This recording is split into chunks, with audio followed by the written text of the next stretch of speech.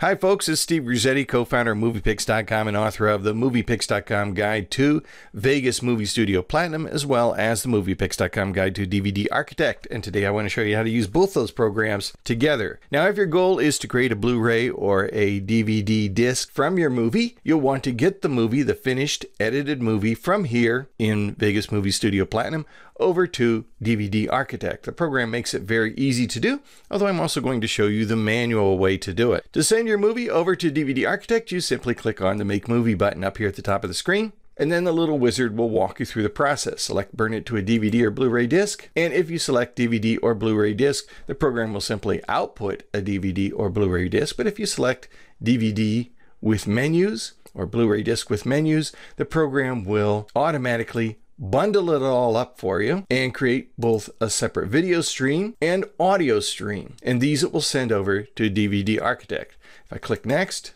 the program is going to render those files for me. It's going to create both the video stream and the audio stream. Should just take a moment. Now it's creating it in a optimized format. In other words, there's an ideal format to feed into DVD Architect. For a DVD, that ideal format is going to be an MPEG, which is what it's producing right now. For a Blu-ray disc, the ideal video format could be an AVC file, or it could be an M2T file, MTS file, uh, and these are more advanced files for carrying Blu-ray information. Now, how long this process takes depends a lot on a lot of things. How long your movie is, of course, uh, what you're using as source video. Right now, I'm using high definition, a 1920 by 1080 video. So it's taking a couple of minutes to generate my video.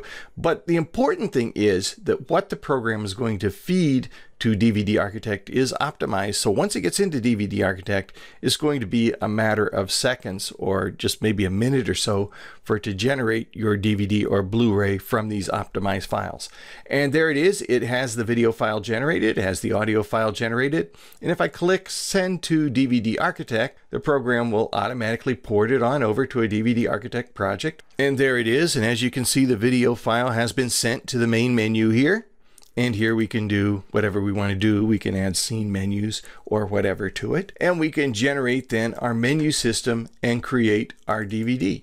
And that's really all there is to it. Now, if you prefer to do this manually, that's easy enough F2. Let's jump back over to Vegas Movie Studio. The manual way to do it is to use the Render As tool to create your video and your audio stream. To create your uh, audio file, you simply select the option here and select the output that you want, which uh, 48K 16-bit stereo is just fine. Now, if I had actually been building a video project that has 5.1 audio, you would have seen 5.1 audio as one of my options here. So I would just click render and that would output the audio stream.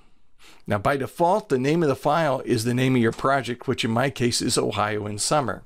To create your uh, video stream, you can select MainConcept here and you see that you have the option of outputting a video stream here at high def at high quality 25 megabits per second if you're creating a DVD file rather than a Blu-ray file just go up here and you see that you have the option of a widescreen or standard video stream already pre-programmed for DVD Architect.